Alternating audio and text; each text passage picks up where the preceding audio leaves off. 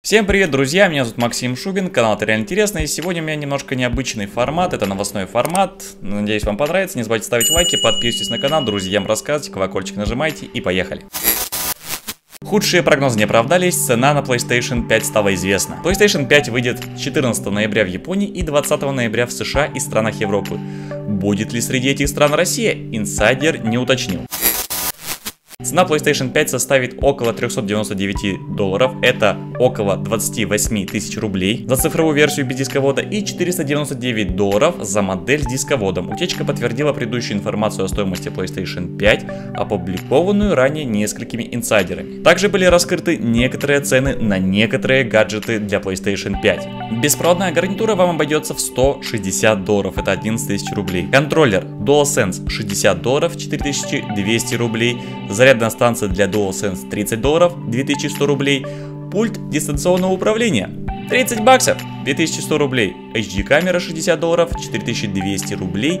Вертикальная подставка 25 долларов, 1700 рублей. Я приятно удивлен и очень хотелось бы приобрести первую плойку в своей жизни для эксклюзивов и для GTA 6, конечно же.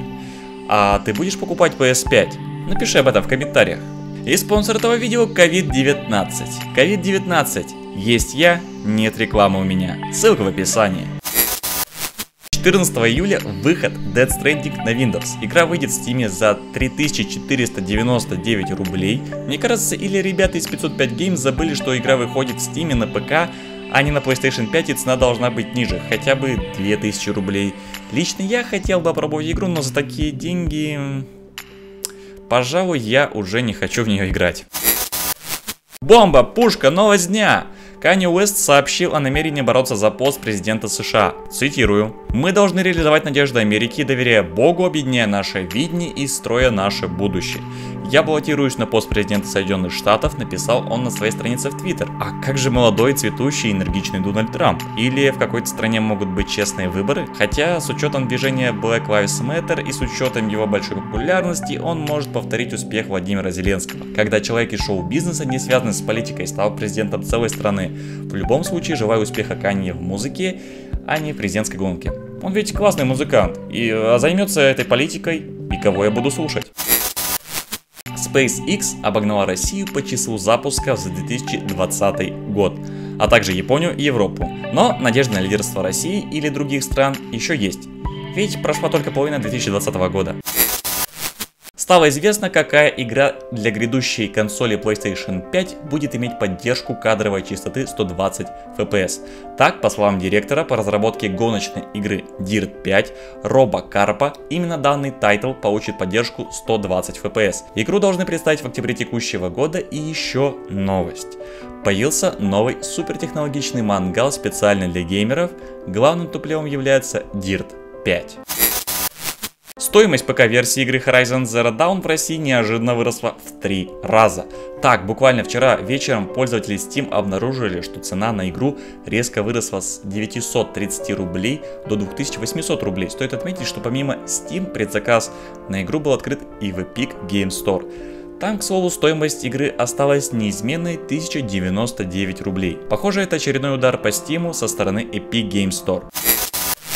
Но есть и хорошие новости. В PlayStation Store началась очередная распродажа. Игры для консоли получили скидки до 95%. Распродажа завершится 16 июля в 2 часа ночи по московскому времени. В рамках акции шутер от первого лица со вселенной Звездных войн Star Wars Battlefront можете купить за 349 рублей вместо 1399. А Battlefield 5 на время акции оценена в 1049 рублей вместо 3499 рублей. А теперь немного странно странностей. Игроки пригрозили убийством актрисы озвучки The Last of Us 2. Настолько они ненавидят персонажа Эбби, чтобы была понятна суть скандала, напомню. Игру The Last of Us 2, часть 2, в сообществе восприняли неоднозначно. Журналисты поставили ей высший балл, а вот многим игрокам она не понравилась.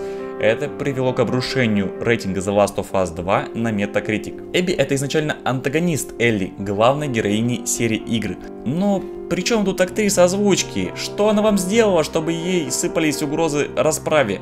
Хотя возможно это продуманный пиар-ход для игры. Sony умеет создавать по одной консоли PlayStation 4 каждые 30 секунд. компания автоматизировала процесс на одном из своих предприятий в Японии. Будущее уже наступило, и оно в Японии, а в России по-прежнему графика и процессоры из 20 века и айфоны из Китая. Индийский подросток потратил заработанные родителями 21 тысячу с половиной долларов на игру PUBG. А теперь схема, как разводить родителей на бабло. В качестве оправдания длительного использования смартфона мальчик говорил родителям, что занимается онлайн уроками. Однако вместо этого подросток скупал игровые функции, в числе которых виртуальные боеприпасы, королевские пропуска и артиллерии, а также тратил средства на внутриигровые покупки для себя и товарищей. У пацанчика был доступ к трем банковским счетам родителей. Сынок, а что мы будем есть? Да я в папке купил. Энергетики и печеньки. Точно не пропадем. Нам хана. Ну и напоследок. Apple не будет класть зарядку у новых айфонов, ссылаясь на то, что уже и так много накопилось зарядных устройств.